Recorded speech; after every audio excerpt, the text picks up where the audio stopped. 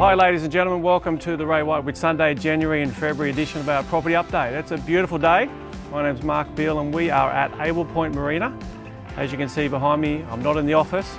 I'm out enjoying the beautiful blue sky. So rain stopped. I'd like to just put a word out there to our friends in Townsville and wish them all the luck with all the floods.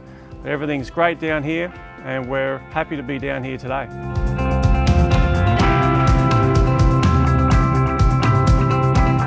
I love marinas and I love boats and yachts of all kinds. So we're here at Abell Point and there's super yachts galore everywhere and these super yachts are really good for the local economy. The statistics are roughly $50,000 a week per boat to the local economy and that goes into all the local businesses, alcohol, food, repairs and maintenance, flowers, all those sorts of things. So we love them, we want to see more of them.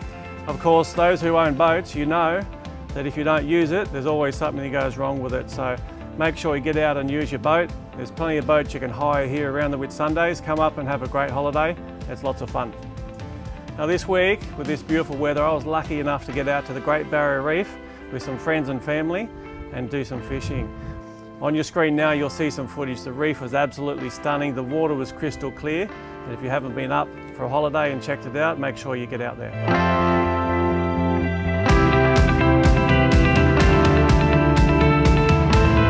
Couple of weeks ago I got the girls in our rental team to do some research for me and I found this information really interesting. Where are our tenants coming from is what we'd like to know. So the research that we did, and I thought that most of it would be mining related tenants. As it turns out, they're only a small percentage. Now on your screen at the moment, you'll see a graph. 25% of all of our tenants for the months of December and January came from the building and construction industry. Second on the list was government related, including teachers, nurses and national parks. Thirdly, retail came in at 15%. Fourth on the list was private company related at 15%, 8% mining, marine related 6%, island workers, medical, sugar industry, hospitality 3%, and accommodation at 2%. I also asked the girls to find out where the tenants are coming from when they applied for a property.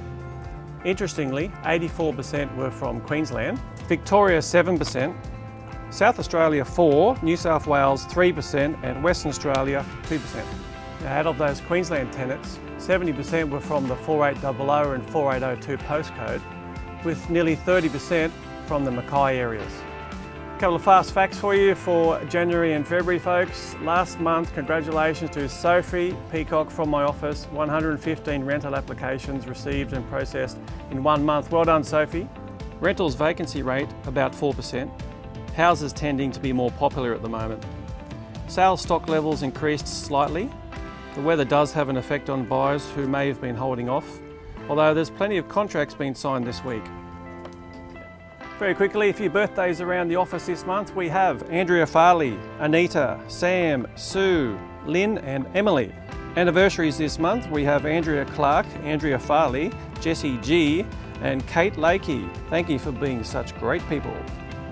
And finally, just to finish up today, folks, just to let you know about our holiday letting page, whitsundayvacations.com.au. The bookings are going nuts for houses in particular. Just to give you an example, now Annie from our office is doing a wonderful job taking all your bookings.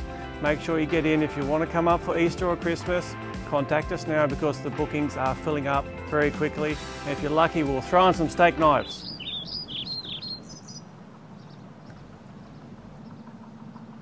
That's all we have time for today, folks. Thanks for watching. I'll see you next time.